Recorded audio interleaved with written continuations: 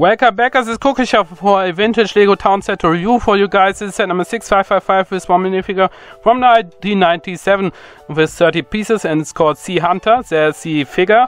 This is the diver we get with the set.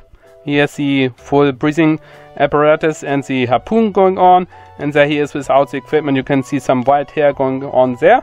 And we also get a saw uh, shark there. You can open and close the jaw, which I think is a interesting feature. And here's a close-up of the set. I'm giving you a full 360 look of the set. We get the dinghy, we get a printed flag there, and then we get this pile of rock with the coral right there. And there's a look at the flag. Nothing too special about this flag there. It's a flag.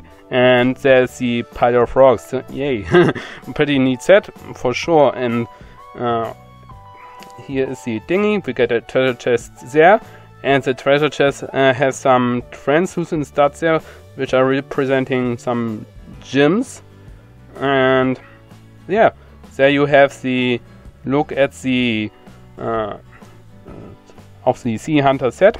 And of course, the uh, can float a little bit, I think, if I remember correctly. And here's the instruction with no mistakes, no missing pieces. And there you have the review of the Sea Hunter.